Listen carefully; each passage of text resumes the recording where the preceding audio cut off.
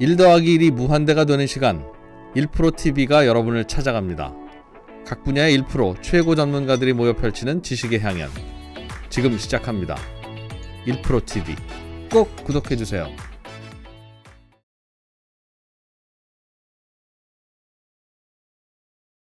이베스트 투자증권의 염승환 이사님 어서 오십시오. 네, 안녕하세요. 네, 반갑습니다.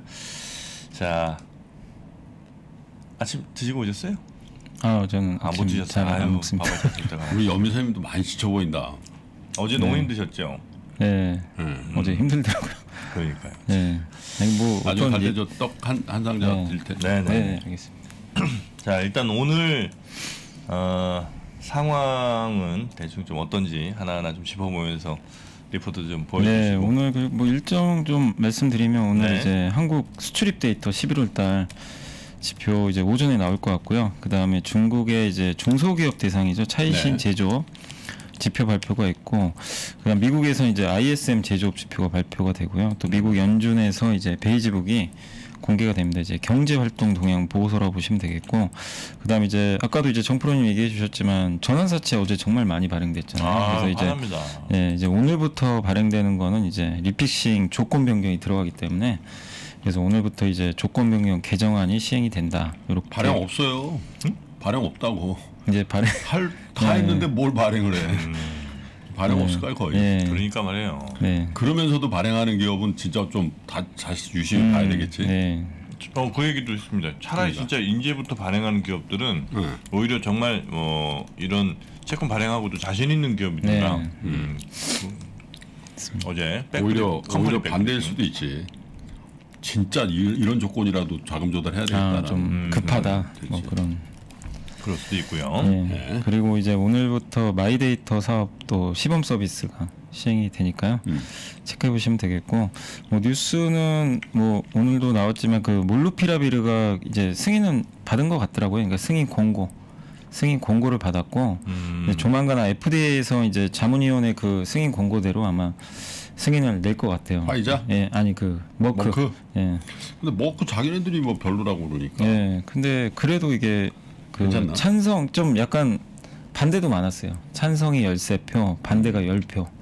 예. 그래도 이제 찬성이 많아서 이제 몰루피라비드는 승인 가능성이 높아졌고 우리 한국에서도 일단 이제 구매 계약을 지금 맺어서 한 40만 4천만 명 정도를 좀 약을 좀 확보를 해서 음흠. 아마 내년부터 아마 좀 우리나라에 들어오지 않을까 싶고 한국 그 식품 의약품 안전처도 이달 이제 긴급 승인 절차에 좀 들어가기로 했다고 합니다. 음. 네.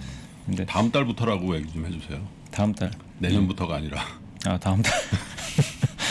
너무 멀어 보 네. 멀어 보여 내년. 네. 아, 그러네요. 이제 한 달 남았으니까. 네, 한달 남았으니. 네. 예, 그런 좀 이슈가 있었으니까 체크하시면 되겠고 오늘 이제 시장은 출발을 할 것 같은데 사실 이제 미국이 좀 많이 빠졌지만 또 아침에 또 반대 매매도 좀 우려되는 상황이긴 한데 일단 코스피 같은 경우는 상승 출발할 것 같고요. 음. 이제 야간 선물이 한 0.37% 올랐어요. 네. 오늘 너무 많이 빠졌다는 건가? 네, 그래서 우리나라는 좀 너무 과도하게 빠졌다는 인식이 있어서 또 원 달러 환율이 한 7원 정도 빠졌거든요. 음. 그래서 오늘 코스피는 좀 출발이 좋을 것 같은데 코스닥은 이제 좀 중소형주들이 많다 보니까 반대 매매 매물이 좀 일부 아까 보니까 아침에 그 예상 지수가 굉장히 안 좋더라고요. 네. 네, 코스닥 쪽에. 근데 지금 코스닥도 좀 빠르게 예상폭을 그 하락폭을 좀 확대 그 낮추면서 음. 한 마이너스 3포인트 정도.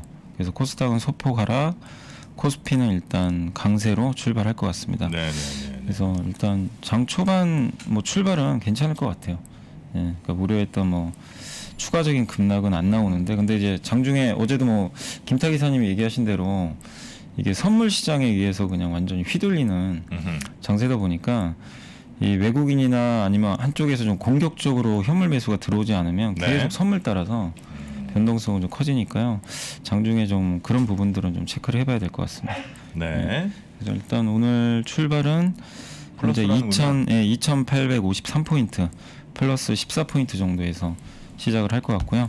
코스닥 같은 경우는 현재 뭐 하락세는 좀 보이고 있지만 마이너스 1.89포인트 정도 여기서 스타트를 끊을 것 같습니다. 삼성전자가 지금 예상으로는 한 1% 정도 오르면서 출발할 것 같고요.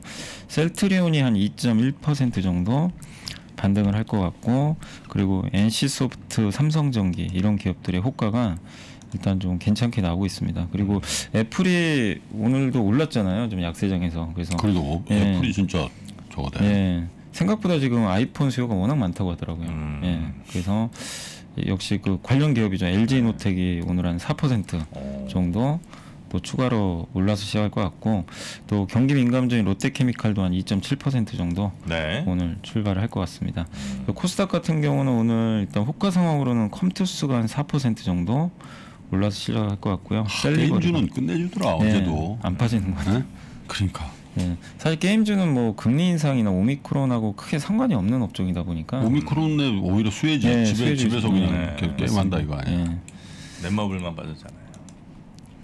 보내드려 빨리. 네, 네. 넷마블은 어제 이제 빠진 이유 좀 찾아보니까 증권사의 목표 조건을 좀 낮춰버렸더라고요. 그 실적 우려 때문에. 그 아, 예, 실적 증권회. 증권회사 증권회사 목표가 하향 실적 우려 그 밑에 맨 밑에 보면 정프로 보유 뭐 이것도 있는 거야. 보내드려 빨리. 네, 네, 네. 네. 자 이제 장은 시작을 했고요. 현재 코스피는 14포인트 정도 오르면서 출발할 것 같고요. 지금 역시 그 말씀드린 대로 LG 노텍이 4% 음. 정도 상승 출발했고 어제 한우 시스템이 결국엔 좀 밀려버렸는데 이 공시가 나왔는데 아직 확정된 건 없다. 예, 그러니까 뭐예요, 뭐. 기사는 나왔는데 그 한우 시스템이 매각된다 그랬잖아요. 네. 일본 전산 음. 이덱 쪽에 그래서 이제 증권사 보고서도 많이 나왔는데 아직 확정은 안 돼 있다. 그런 공시가 나오면서 밀렸는데 일단 오늘 다시 3% 정도 사실 무근입니다 이런 게 아니고 예, 확정된 바 예. 없다. 매각은 계속 추진 중이었어요. 뭔가 이- 있단 얘기네. 예. 근데 아직은 뭐 딜이 끝난 것 같지는 않습니다. 음. 그 롯데케미칼이 2.4% 정도 지금 반등을 해주고 있고 기아가 1.6% 정도 음. 상승세를 일단 보여주고 있고요. 셀트리온도 이제 치료제 좀 기대감이 있어서 2.4% 반등을 해주고 있습니다. 그래서 대부분 대형주들 좀 출발 괜찮고 좀 빠지는 기업들은 LGU 플러스가 한 1% 정도 빠졌고요. 그 다음에 SD 바이오 센서가 1.3% 정도 하락하고 있고 SK가 한 0.9% 정도, 그 정도 좀 밀리고 있고 대부분은 다 강세를 좀 보이고 있습니다. 그리고 삼성전자라든가 이제 이런 기업들도 오늘 뭐 일단 분위기들은 일단 크게 나쁘진 않은데 네. 시장 흐름은 좀 계속 우리가 살펴봐야 될 것 같고요. 그 코스닥 쪽으로 넘어가면 코스닥 같은 경우는 오늘 그 컴투스가 한 3% 정도 오르면서 이제 스타트를 좀 끊어줬고 그 다음에 셀트리온 제약, 동아기업, TCK 이런 기업들 2차 전지, 바이오, 반도체 이쪽 섹터가 일단 출발이 좋습니다. 네. 근데 반대로 시즌이 오늘 좀 빠졌어요. 2%. 그래서 시장은 일단 오미크론에 대해서는 오늘 출발만 봐서는 크게 걱정하지 않는 음흠. 그런 분위기로 일단 출발을 해주는 것 같습니다. 그래서 현재 코스피가 24포인트 정도 오르고 있고요. 2,863포인트, 0.86% 정도 반등에 좀 성공을 해줬고 코스닥도 6포인트 정도, 0.68%. 그래서 일단 우려했던 추가 투매는 좀 나오지 않고 있고 다행히 좀 오전장은 견조하게 출발을 잘 보여주는 것 양기는 같습니다. 어떻습니까? 양기. 네, 양기. 뭐예요? 양기가 뭐예요? 외국인 양. 아, 기관 투자. 양기. 풀네임 하기 아, 싫어. 양기. 어디서 또 배워오셔갖고 외국인하고 기관 투자가 어떻게? 네, 둘다 둘 다 지금 사고 있어요. 두쪽다 외국인 기관이 외국인이 347억 사고 있고요. 기관 투자들이 217억. 오늘 연기금이 굉장히 좀 공격적인데 한 220억 정도 들어왔고 최근에 외국인들이 선물을 너무 많이 팔아가지고 이제 좀 많이 흔들렸는데 오늘은 오전에 사고 있습니다. 2,156계약 정도 사고 있는데 금융 투자는 아직 크게 매매는 안 하고 있습니다. 금융. 투자는 1억 정도 순매수하고 있고요. 기- 개인 투자자분들이 코스피 쪽에서 835억 정도 아. 좀 공격적으로 매도를 좀 하고 있습니다. 그래서 현재 오늘 시장 좀 반등을 이끄는 주역은 외국인이다. 외국인이 매수폭을 지금 530억까지 조금 늘려가고 있는데 주로 사는 업종은 뭐냐면요. 네. 예, 거의 전기전자, 전기전자를 193억, 제약, 운수장비, 서비스업. 네. 대부분 고르게 좀 사고는 있는 것 같아요. 개세는 어떻습니까? 개세. 개세 따라 좀 하지 마. 개인이랑 세력은 아유 진짜. 어디 따라할 게 없어 나를 따라. 개세. 네 그렇게 네. 지금 외국인과 수급 인재 나오고 있다 아, 이거죠. 웃지 마 웃지 마. 어제도 네. 웃, 웃다가 끝나 끝내야 돼. 끝까지 긴장해. 끝까지 네, 인상 쓰고 있어. 네. 아 그래요? 네. 근데 일단 오늘 뭐 수급은 어제랑은 좀 180도 좀 다르게 음, 지금 오전장은 전개가 되고 있고요. 음. 그리고 섹터는 오늘 자동차주들이 좀 괜찮은 게 한우 시스템도 좋은데 기아 현대차가 모처럼 좀 올라가고 기아가 한 3% 정도 오르고 있고요. 현대차가 한 2% 정도. 그래서 부품주하고 지금 완성차가 좀 출발이 좋은 상태라서 음. 긍정적인 모습이고 그 다음에 광고 기획사도 오늘 출발이 좋고 골프 관련주도 오늘 좀 올라가 일부 올라가고요. NFT 관련주도 반등을 해주고 있습니다. 그리고 임플란트 회사라든가 뭐 의료기기, AR, 뭐 타이어, 예, 정유업종 이쪽도 대부분 다 차분히 좀 반등을 해주고 있고요. 인터넷 대표주도 좀 최근에 부진했는데 음. 네이버가 한 1.5% 정도. 그래서 아주 뭐 급등한다 이거보다도요. 전반적인 분위기는 한 1에서 2% 정도 좀 완만하게 기업들이 반등을 잘해주고 있다. 네. 그래서 고르게 좀 반등하고 있고요. 반대로 좀 빠지는 쪽은 오늘 카지노 업종은 여전히 조금 부진한 상태고 통신주가 좀 일부 밀리고 있고요. 그리고 코로나19 관련 기업도 일부 밀리는데 뭐 극소수입니다. 사실 뭐 빠지는 기업들은. 네. 그래서 어제 충격에서는 벗어나서 뭐 대부분의 기업들이 다 고르게 반등을 하고 있다라고 보시면 좋을 것 같습니다. 네. 전체적으로 분위기는 뭐 네, 나쁘진 않습니다. 어제 워낙 많이 빠졌으니까 네, 그죠? 너무 네. 오늘 분위기 좋다는 얘기 하지 마세요. 네. 분위기 딱 진짜로. 분위기가 조심스럽네요. 양전의 조건이 몇 개 있어요. 네. 우리 분위기가 침울해야지 양전이 되더라고. 아, 예. 아 그래요? 그리고 초대 손님은 바로 제가 어레인지 했어요 저녁에 윤지호 센터장 아, 모시기로. 센터. 선생님. 네. 네. 윤주 김한진 박사님 그리고 어, 기- 기- 김영 김영 몇분 몇분 계시죠? 네.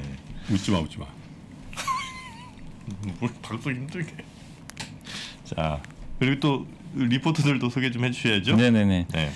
그래서 오늘 그 한국 투자 오늘 좀 업종 위주로 좀 말씀드리면요 한투에서 그 이원식 애널리스트가 반도체 반도체는 의견들이 대부분 요새는 좀 좋게 나오는데 음. 전방 업체들 재고가 좀 감소하고 있다 이런 내용이고 서버 수요도 좀 개선되고 PC 쪽에서 보면 기업들 PC 구매가 좀 많은 것 같습니다. 그래서 괜찮은 모습이고 그래서 메모리 반도체 투자 의견 좀 비중 확대 의견 여전히 좀 유, 유지를 하고 있고요. 특히 그 최근 주가 반등으로 하이닉스가 좀 이제 약간 올라와서 가격 부담이 있는 거 아니냐 이런 좀 얘기들도 나오긴 하는데 하이닉스가 내년 실적 기준으로 PBR이 1.2배 정도 되거든요. 근데 어쨌든 마이크론이 3이잖아요. 사실 디램 쪽에서. 근데 마이크론이 PBR이 1.6배나 돼요. 그러니까 너무 격차가 좀 크다는 거죠. 음. 그래서 하이닉스도 여전히 현저히 저평가돼 있다. 네. 예, 이렇게 보시면 좋을 것 같고 그다음에 KB에서 박신혜 연구원님이 이제 뭐 내년 전망도 좀 해주셨는데 요새 뭐 유통이 워낙 안 좋긴 하지만 롯데쇼핑을 제외하고는 대부분의 업체들의 매출과 영업이익 추정치가 지난 1년간 계속 올라갔대요. 추정치 자체는. 음. 근데 주가는 5월부터 좀 계속 빠져가지고 그냥 아예 유통업종 전체를 인정을 안 하는 분위기죠, 사실은. 그래서 이게 뭐 당연히 오프라인 유통업에 대한 전망이 어둡고 또 타 섹터가 워낙 좋다 보니까 굳이 유통을 할 필요 있냐 이런 것들이 음. 좀 악재로 작용한 것 같은데 다만 네. 지금 주가는 워낙 많이 빠져 있고 그리고 이 숫자가 나쁜 건 아니거든요. 정치 올라가니까 한번 좀 유통업종도 긍정적으로 보자는 그런 의견이고요. 그 최근에 조선주도 좀 좋았다가 분위기가 좀 꺾였는데 한국투자증권의 최강식 애널리스트가 LNG선 수주가 지금 신기록을 경신을 하고 있다. 그래서 긍정적인 좀 의견을 좀 피력을 하셨고 10월까지 이미 수주 목표 30%를 이미 넘어선 상황이고요. 11월에 그리스 선주들이 지금 LNG선을 투기적으로 발주를 하고 있다고 합니다. 네, 네. 굉장히 그래서 11월 5일날 현대중공업이 LNG선 세 척 수주 공시를 했는데 그것도 크리, 그리스 쪽이고요. 음. 대우조선해양도 두 척 수주를 했는데 네. 그쪽 다 그리스 쪽. 우리가 대부분 LNG 하면 카타르로 알고 있는데 음. 그리스에서 굉장히 좀 급하게 지금 발주를 하고 있다 이렇게 얘기를 해줬고요. 지금 조선업 대형 LNG 선 수주가 57척인데 2018년도가 58척이 최대였는데 네. 그걸 아마 넘어설 것으로 보입니다. 근데 그 배경이 왜 이렇게 투기적으로 발주를 하냐? 음. 일단 가장 큰것 중에 하나가 슬롯이 부족하대요. 배를 만들 수 있는 도크가 한정돼 있는데 음. 이미 우리나라는 그 카타르랑 이미 예약이 많이 돼 있거든요. 네. 그래서 그리스에서 좀 늦기 전에 발주를 한 것 같고 그 다음에 이산화탄소 규제가 좀 있잖아요. 그래서 배에서 이제 그 어떤 이제 연료가 열 그러니까 뭐 이게 저유황유라든가 아니면 이제 벙커시유 같은 걸 많이 쓰는데 거기서 이제 이산화탄소가 많이 배출이 되니까 그거 이제 규제가 들어가거든요. 네네. 그래서 23년부터 들어가다 보니까 음. 지금부터 이제 배를 LNG 뭐 추진선이나 이런 것들을 음. 많이 발주를 하는 것 같습니다. 그리고 LNG선 신조선가도 계속 좀 오름세니까 조선업에 대해서는 좀 긍정적으로 보고 있고 특히 한국의 조선 3사 그다음에 엔진 만드는 업체 또 LNG선 본행제 만드는 그런 중소기업도 한번 보자는 그런 의견이니까요. 참고를 해주시면 참 좋을 것 같습니다. 얇다. 얇어. 예. 또? 음. 아, 또 내려가네요. 얇어. 아 조금만 매물 나와도 예. 그지? 오늘 가치는 뭐- 주체가 없네. 수급 자체는 사실 크게 문제는 없는데 좀 네. 불안불안해 하시는 것 같아요. 다들. 예. 그러니까. 외국인 기관의 매수는 더 늘어나긴 했거든요. 이제 그래서 이것만 보면 어제와 같은 뭐 패닉이 나올 가능성은 낮긴 한데요. 확실히 이게 공격적으로 좀 올리겠다라는 그런 음. 좀 투자 심리는 좀 부족한 것 같습니다. 그 대주주 과세 요건에 해당되는 물량은 대부분 나오거나 나올 게 어- 거의 없어질 것 같은데 뭐 먹었어야지 나오지. 예, 없고요. 게임주하고 엔터주나 뭐 2차 전지 소재 정도. 그 정도. 그런 건뭐 어제 더 예, 올라 버리던데. 그쪽밖에는 사실은 대부분 빠졌기 때문에 음. 음. 연초 대비해서는 2, 30% 빠진 격들 되게 많거든요. 음. 그래서 나올 가능성은 높진 않은데 일단 근데 중소형주 같은 경우는 이게 워낙 지금 투심이 안 좋다 보니까 그런 것도 좀 일부 우려하는 것 같아요. 음. 그래도 오늘 좀 시장에서 되게 특이한 게 뭐 NC 소프트라든가 뭐 이런 뭐 셀트리온 같은 경우는 각각 좀 모멘텀이 있어서 올라갈 수는 있는데 그 롯데케미칼이 좀 되게 좀 특이한 것 같아요. 왜 그러죠? 왜냐 경기 민감주 지금 굉장히 분위기가 안 좋거든요. 네. 근데 지금 4% 정도 올랐는데 한 외국계 증권사에서 오늘 아마 목표 주가 올린 걸로 제가 좀 알고 있어요. 그런 것도 좀 일부 있는 것 같고 그리고 지금 경기 민감주들도 지금 안 좋은 상황이지만 valuation이 너무나 낮은 거 아니냐. 음. 이런 좀 인식도 있는 것 같습니다. 그러니까 이런 낙폭과대 대형 수출주들이 올라오는 거는 증시 하방을 좀 지지할 수 있는 요인 중에 하나거든요. 이런 기업들이 올라가는 것 자체는 그래서 시장이 긍정적인데 이게 연속성이 있냐 그걸 좀 체크는 해봐야 될 것 같습니다. 예. 그리고 오늘 뭐 셀트리온하고 삼성바이오로직스는 일단 그래도 바이오도 12월에는 좀 긍정적으로 보자는 의견들이 많더라고요. 연말 연초는. 셀트리온 올라갑니까? 네, 오늘 한 4.5%, 8%이 정도 올라가서 굉장히 좋은 모습 좀 오랜만에 보여주고 있는 것 같습니다. 지금 뭐 뭐라도 빨리 좀 많이 올라서 네. 이게 하여튼 그 주도주 아. 형태의 어떤 네. 도드라지 네, 주- 맞아요. 주식이 나. 그래서 반도체가 대라 대라 했는데 탈때말때 네, 하면서 어제. 맞아버렸네. 네. 어제 같은 날 탁 버티고 했으면은 그 주도주에서 위상을 네. 딱 하고 그죠? 마켓의 중심을 잡아줄 텐데 아, 이게 그러니까 멱살. 잡고 끌고 가는 기업이 음. 한두 개 있어야 돼요. 그럼. 예. 그 반도체가 됐든 바이오가 됐든 2차 전지가 됐든 뭐 어? 호텔? 어? 호텔이 됐든? 호텔 호텔 은 안 돼? 호텔은 에이, 호텔은 좀 약하지. 아니 갈 수는 있는데 이게 시총이 너무 작아서요. 아. 이제 여기서 얘기하는 건 시총 한 10위 안에 든 아. 기업들 중에서 멱살 끌을 정도 힘이 있는 애들. 음, 근데 오늘 이제 시총 상위 기업 중에서는 셀트리온이 일단 끌고는 가요. 5% 올랐고 삼성바이오가 한 2.5%, 음. 삼성전자도 한 1%, 그리고 경기 민감주 약간 롯데케미칼이 한번 좀 급등했고, 그래서 일단 약간 끌고 가려는 기업들은 일단 보여서 시장 일단 오전 분위기는 괜찮다고는 보여집니다. 음. 예. 코스닥이 이렇게 약한 건 왜 그래요? 코스피는 어쨌든 0.7 플러스인데 코스닥은 0.3 마이너스인데 코스닥 같은 경우는 이제 기존의 주도 업종이죠, 그 아, 위메이드, 에코프로 이런 거 예, 이게 빠져서. 빠져요. 위메이드, 디어유, 에코프로비엠. 음. 이세 개가 진짜 많이 아, 오르는 기업들인데 주도주가 좀 밀려버리니까 음. 좀 반대로 코스닥은 상당 상대적으로 코스피는 예. 삼전도 일단 한 1%인데 네. 현차도 1% 후반대 네, 이런 게 오르는군요. 네. 음. 그래서 확실히 오늘은 코스피랑 코스닥이랑 대비가 되는 것 같습니다. 근데 코스닥도 못 오른 기업들은 대부분 올라가요 오늘은. 네. 특히 이제 셀트리온 그룹주 있잖아요. 셀트리온 헬스케어 제약이 5% 가까이 지금 다 급등하고 있어서 바이오가 유럽 일단 선정한다는 것 때문에 그런 거죠. 예, 일단 그런- 5만 예, 명분. 예. 그리고 어쨌든 셀트리온을 레키노하는 효능이 되게 좋다고 하더라고요. 75%인가 80% 아, 그래요? 예, 효능이 괜찮대요. 음. 우리나라에서 어, 실제 쓰고 있고 음. 유럽도 지금 확진자가 워낙 많기 때문에 네네. 이게 이번에 들어가게 되면은 어느 정도 이제 매출이 나올 수도 있는 거고 음. 그리고 머크의 경구용 치료제는 어쨌든 효능 승인은 받아도 너무 효능이. 떨어지니까. 예. 음. 그러니까 화이자가 나오기 전까지는 음. 레키노라가 어쨌든 가장 지금 효능이 좋은 상태니까 네. 쓰일 가능성이 높은 것 같습니다. 이게 5만 명, 5만 명분 들어가서 이제 효과가 좀 더 좋다는 게 입증만 좀 더 되면 임상에서 아 나오면 진짜 그랬으면 좋겠어. 예. 오만 예. 예를 들면 진짜 중증 환자들을 위주로 맞을 거 아니야. 예. 병원에서 맞으니까 그죠? 병원에서 맞는 거예요. 병원에서 맞으니까 중증 환자들 입원 환자들 일단 줄 거 아니야. 그렇죠. 주사 한 방씩 뻘떡뻘떡 일어나는 거지. 그리고 걸어 나가는 거야. 음. 아, 나 툭툭 음. 털고 난 나갈래요. 음. 그런 상황이 좀 됐으면 좋겠어요. 진짜. 예. 전 세계적으로 그럼 막 퍼지고 네. 그 코로나에 대한 공포가 좀 사라지는 그런 시기를 한번 아니 그 무슨 셀트리온 그 한 회사가 문제가 아니야. 만약 그런 그렇게라도 좀 되면 음. 대한민국의 그 바이오 그럼요. 위상이 예. 달라지잖아. 음. 이게 왜 셀트리온이 이제 경구용 치료제 나오면 자꾸 주가 급 나가지만 그래도 의미가 있는 게 네. 치료제를 만든 건 처음이잖아요. 승인 받은 거는 그러니까 전 세계 몇 개 없어요. 실제 치료제가 음. 제대로 이렇게 승인 받은 게 그러니까 네. 셀트리온도 대단한 일을 했는데 좀 아쉬웠던 게 좀 타이밍이 타이밍.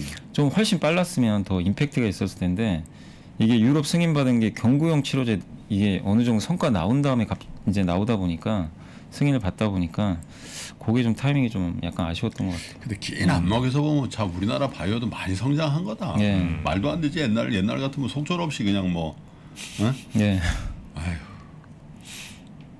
그 특히- 뉴스 플로우상 우리가 뭐 맞아요. 유럽에다가 코로나 19 치료제를 수출하고 선적한다라는 네. 뉴스 자체가 대단한 거죠. 대단한 네. 예. 사실. 아 근데 이제 중증보다는 좀 초기 치료용이라는 얘기가 그래? 좀 많으시네요. 중증 안 돼? 한세방 맞으면 안 돼? 되겠죠. 중증 세 방으로 안 되면 여섯 방 맞고. 네. 바이오 쪽은 저희가 잘 모르니까 조심하겠습니다. 음. 자 그리고 또 어떤 리포트 있습니까? 네, 오늘 다 했습니다. 아, 다 하셨어요. 네, 네, 네. 알겠습니다. 아유, 하여튼 오늘 아, 아, 얼마나 답답하면 그런 얘기를 하겠어. 음. 그죠? 우리나라도 뭔가 탁 치고 나가는 뭔가 있었으면 좋겠다는 그런 생각에 말씀드린 거예요. 네. 자, 일단 현재 상황 코스피는 0.4% 정도 아유, 플러스인 것 코스닥도 같고. 1% 빠져. 예. 아유. 네. 자, 뭐 저희가 뭐 기우제 지낸다고 해서 이게 뭐 되는 건 아니니까 음. 일단 뭐 여미사님은 여기서 보내드리고 어, 또 저희 또 전화 말씀 좀 전해드리도록 하겠습니다. 자, 염승원 이사님 고생 많으셨습니다. 네, 고맙습니다. 감사합니다. 감사합니다. 네. 2022년에도 여전히 유망할 1등 산업과 종목들을 찾아야 할 시간 리서치 명가 메리츠증권과 함께 준비했습니다. 2022년도 투자의 정확한 흐름을 읽고 미리 준비하는 2022년 투자 전략과 업종별 시장 전망 투자 특강. 남들보다 한 발 앞서 달라진 시장 환경과 유망 산업을 판단하고 1등 종목을 선정하는 안목을 키우는 시간이 되실 것입니다.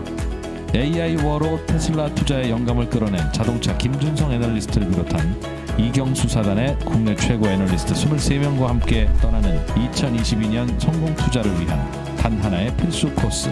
지금 바로 신청하세요. 자세한 사항은 3프로TV 공지사항을 확인하세요.